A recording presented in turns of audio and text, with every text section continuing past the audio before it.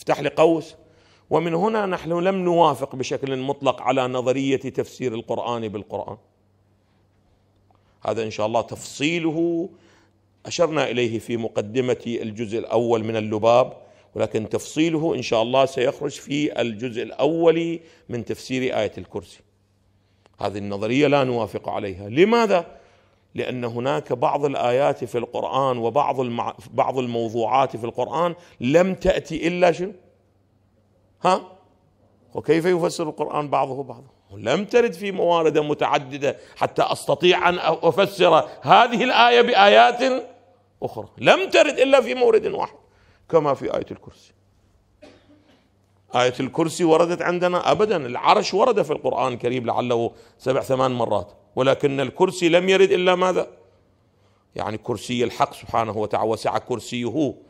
لفظ الكرسي ورد ها في سليمان وغير سليمان. لا لا مقصودنا ماذا؟ وسع كرسيه العرش والكرسي. لم يرد إلا في مورد واحد. إذا كيف تستعين بتفسير القرآن بالقرآن لتفسير هذه الآية المباركة؟ على الأحوال نرجع إلى البحث.